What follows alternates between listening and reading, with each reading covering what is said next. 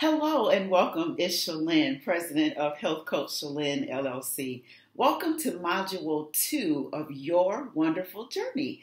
So happy that you have went through everything through Module 1 and your mind has been open and you have been inspired to continue on. I want to stop for a quick second and just give you a quick reminder that if you have not checked into the Facebook group, our private group, to let us know that you have progressed through Module 1 and just give us a few little things that you have learned and things that you have implemented please do so now because we want to cheer you on and we want to be inspired ourselves. So, let's talk very quickly about Module 2 and what you will learn in Module 2. So, as you all know, um, in my business, I do public speaking, I hold workshops, and I work with my clients one on one. I have found in all of these different settings and different interactions with people that a lot of times people are not really clear on what the back of those labels on the products of their foods really, really mean.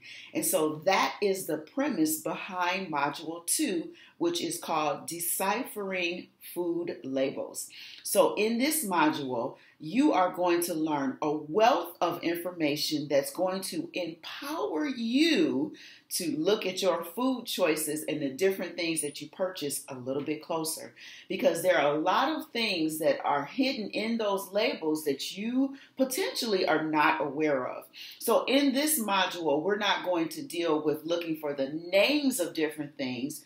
You are going to learn how to read the label and how to pick things according to its serving size and then also how to eat according to that nutritional label. So there are some bonus materials that are included as well as the full course materials. Now, one thing that I definitely want to bring to mind is uh, to your attention is to be sure that in the bonus material link that you click that link and download the information that gives you a full label as well as how to go about and read each portion of that label. It's beautiful. It's absolutely wonderful. It's a resource that I decided to include in this module so that you can really, really, really be empowered with how to move forward. So, without further ado, because I get so excited and we'll keep talking, go ahead, jump into module two and enjoy all that you're about to learn.